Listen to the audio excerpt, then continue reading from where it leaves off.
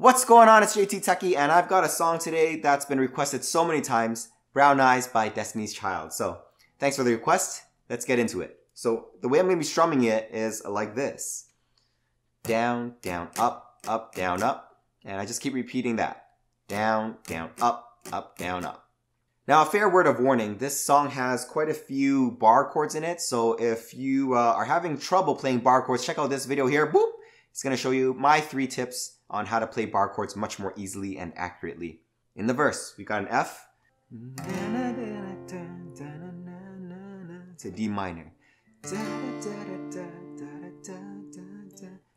B flat, F, G minor, C7. Now you might also know C7 like this. But uh, because we're playing it from a G minor into a C7, I like to play the C7 this way. So that whole sequence, we play it twice, and that's the verse. So let's hear how it goes, starting with the F. D minor. B flat. F. G minor. C7. F. D minor. B flat. F. G minor. C7 Next we get right into the pre-chorus. So the pre-chorus has a B flat.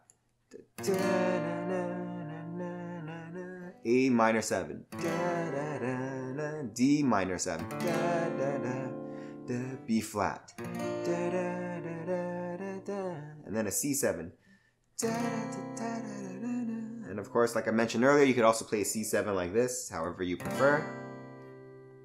So let's hear how the pre-chorus goes. Starting with a B flat.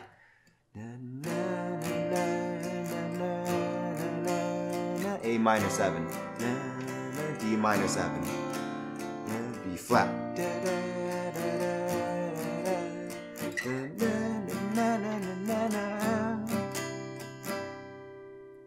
Lastly, we have the chorus, and actually the chorus is the exact same sequence as the verse, except at the very, very end, we also add an F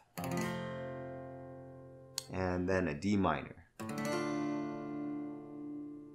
Now let's play through the whole song so you can follow along, starting with the F chord. Mm.